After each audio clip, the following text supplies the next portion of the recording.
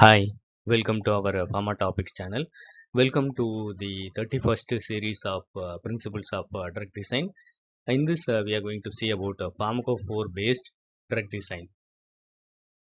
Pharmacophore based drug design is a computational approach used in uh, pharmaceutical drug discovery that focuses on identifying essential structural features or functional groups within a molecule uh, that are responsible for its pharmacological activity.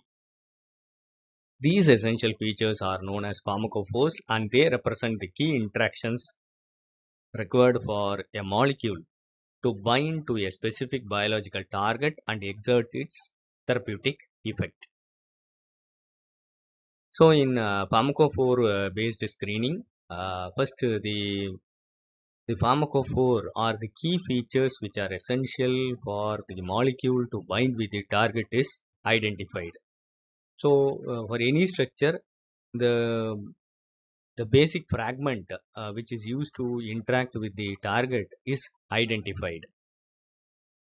So it is uh, it is based on the database screening of Lipinski's rule, Weber rule, Hugge rule, Gross rule, or Payne's.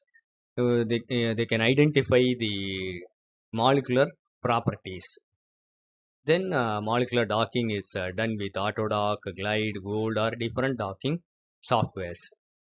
Then ADMET profiling by Swiss ADME, ADMET Lab, or PKCSM to know the absorption, distribution, metabolism, elimination, and toxicity of the lead molecules. Then the molecular docking is uh, performed to, to identify the drug interactions. Then experimental uh, assays are performed to validate the target. Put together, this is called uh, pharmacophore based screening. So the step one in uh, pharmacophore based drug design is target identification. Similar to other uh, drug discovery approaches, the first step is to identify a specific biological target such as enzymes, receptors, transport proteins, carrier molecules, uh, or any other uh, targets that plays a crucial role in the disease process. Next, uh, the structural information of the lead molecule. If available, the three-dimensional structure of the target is used to understand its uh, active site and critical interactions with the ligands that bind to it. However, pharmacophore-based drug design can also be applied in cases where the target structure is not known or difficult to obtain. That is the advantage of pharmacophore-based drug design. So next is uh, virtual screening. So the the the frag it is uh, the lead molecule is fragmented into different fragments and identify the key features responsible to bind with the target is identified like uh, how many rings are present how many hydrogen bond donors are present uh, what are the functional groups present? Once the pharmacophore model is uh, generated it is used to screen the chemical databases of uh, potential drug candidates. Compounds uh, that match the pharmacophore features are prioritized as potential hits for further evaluation. So you can uh, see this. Uh, first you get the target and you bind with a ligand you get a complex and study the interactions. So first you have to get the target proteins then you can get the target ligands then you do a molecular docking then you study the interactions. Next is molecular dynamics. Molecular dynamic simulations involve using computational techniques to model the movement and interactions of atoms and molecules over time they can be used to predict the activity and potential binding of a compound to the target molecule and to optimize their structure and properties. So you can see uh, when an atom interacts uh, from a lead or a hit, it interacts with the uh, target uh, proteins. It causes numerous interactions which could be studied with molecular dynamics.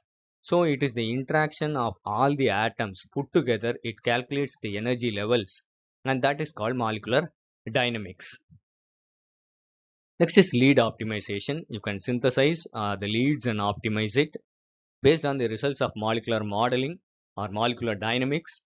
uh, research, design, and synthesize compounds that are likely to interact specifically with the target molecule in a way that it modulates its activity. These compounds are then tested and optimized through iterative rounds of synthesis and testing to improve their activity, specificity, and other properties. In the pharmacophore based drug design, in case of hit to lead identification, the medicinal chemists modify the chemical structure of the hits to enhance their potency and reduce the potential uh, adverse effects. During the screening process, the compounds that demonstrate uh, desirable interaction or activity with the target are considered as hits. These hits may exhibit uh, characteristics such as binding affinity, selectivity, potency, or functional activity that make them potentially suitable for further development as drug candidates. Once a hit is identified, it undergoes uh, further optimization through a process called lead optimization. This involves uh, modifying the hit molecule to enhance its potency, selectivity, pharmacokinetic properties, and safety profile. Lead optimization aims to develop a compound with improved drug-like properties that can be tested in preclinical and clinical studies. Next is, uh, so you can see this, uh, the next step is, uh, step 5 is lead optimization. Identify the lead molecule for the selected target. Modify the lead, that is optimize the lead to increase its uh, drug likeness.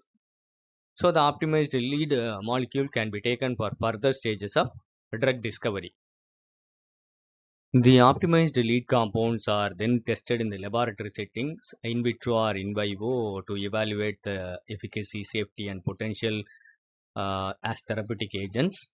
The optimized uh, lead compounds are uh, uh analyzed by cell-based assays, uh, viability assays, apoptosis assay, reporter gene assay, and ELISA, and any other assay method. Biochemical assays include enzyme assays, calorimetric assays, fluorimetric uh, assays, radiometric assays, and spectrophotometric assays. In vivo testing involves uh, toxicity and uh, efficacy testing in Drosophila, C. elegans, Danioraria, Mus musculus, Rattus norvegicus, dogs, and uh, primate models. Then is preclinical testing. So preclinical testing involves uh, cell-based assays then um, enzymatic or um, microarray technologies can be used. Then preclinical testing in Drosophila or zebrafish or uh, rodent models or human uh, primates uh, can be studied. The next step, step is uh, clinical trials. The optimized lead compounds are then tested in the laboratory settings it may be in vitro or in vivo models to assess their efficacy, uh, safety uh, for the potential adverse effects. So after this, it goes for clinical trials. It includes uh, phase 0 trials, which is a microdosing study. Then uh, phase 1 trials, uh, which is in the healthy volunteers. Then uh, phase 2 trials, it is in the patient population, first patient population study then phase 3 trials, it is a multicentric trial. Uh, it usually compares with the standard. Then phase 4 trials, it is post-marketing surveillance. The next is uh, regulatory approval. If the drug successfully completes all the clinical trials and demonstrates uh, its uh, safety and efficacy, it can be submitted uh, for regulatory approval. So it may be investigational new drug application.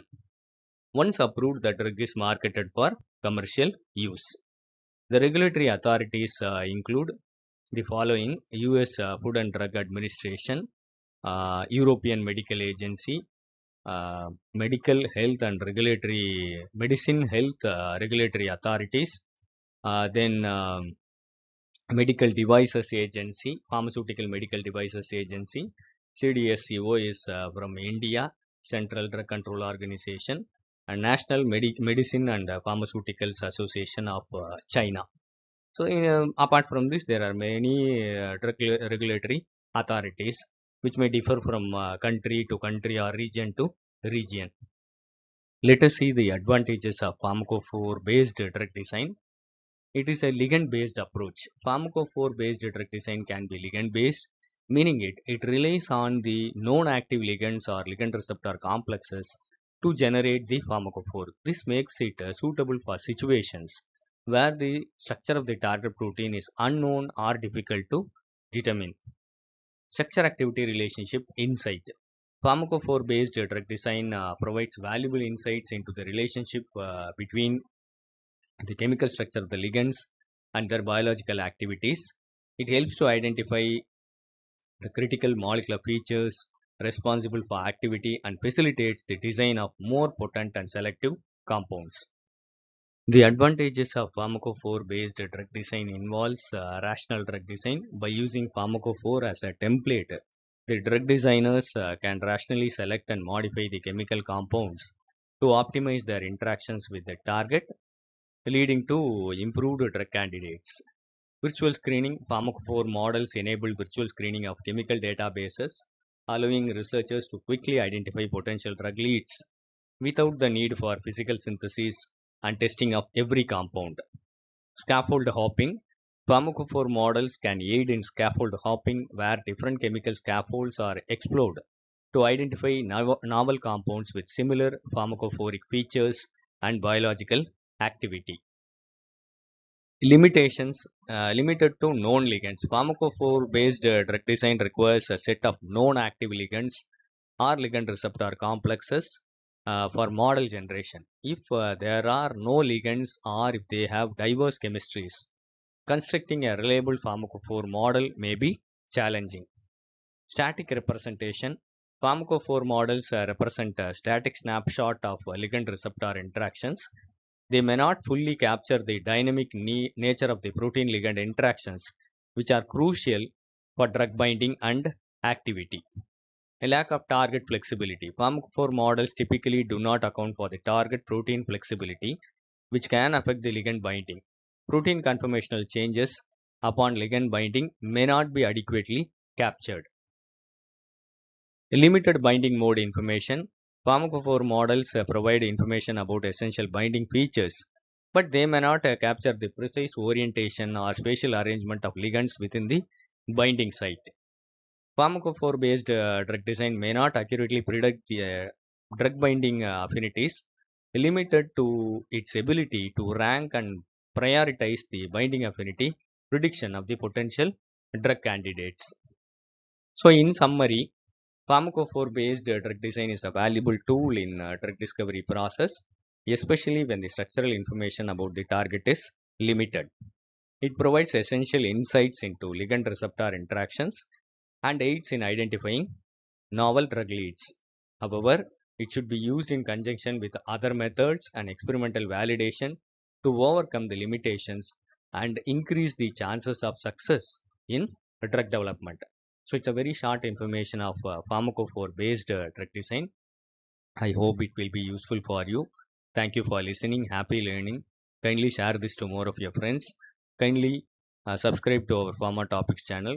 If you like this video, kindly press the like button.